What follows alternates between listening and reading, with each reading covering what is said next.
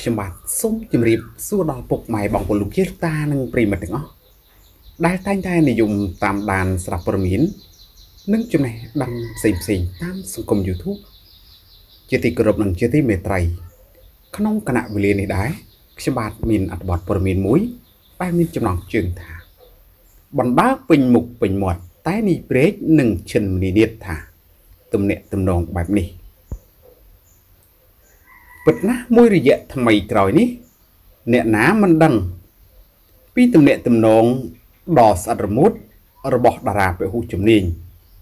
ប្រុសនីព្រែកនិងតារាស្រីវ័យក្មេងកញ្ញាឈិនមនីនិតដោយកន្លងទៅ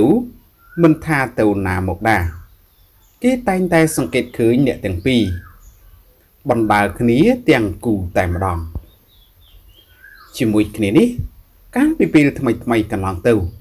យោងតាមគេហទំព័រ Facebook ផ្លូវការរបស់តារាកំ pl ែង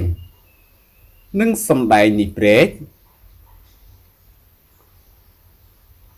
តែងបង្ហោះរូបថតដ៏ផ្អែមល្ហែមរវាងរូបខ្លួន និងដៃគូដោយមានទាំងស្ទាយផ្អែមល្ហែមស្និទ្ធស្នាលដូចគូស្នេហ៍បង្ហាញក្តីស្រឡាញ់យ៉ាងស្អិតរមួតរហូតហ្វ្រេនហ្វ្រេនលន់មាត់សរសើរថាគូស្នេហ៍នេះ ពិតជាសមគ្នាឥតខ្ចោះតែម្ដងយ៉ាងណាមិញស្រាប់តែពេលថ្មីថ្មីនេះ ក្នុងកម្មវិធីបទសម្ភាសន៍មួយ ស្រាប់តែនីព្រែកបានលើកឡើងពីទំនាក់ទំនងរបស់លោកនិងឈិនមនីនាថថា អ្នកទាំងពីរមិនទាន់ឈានដល់ជាគូស្នេហ៍ពេញលេញនោះទេ ដោយស្ថិតក្នុងការមើលចិត្តគ្នានិងមើលថែ ក្នុងនាមជាបងប្អូនព្រោះថានីនិតកំពុងស្ថិតក្នុងវ័យសិក្សា និងនៅវ័យក្មេងពេក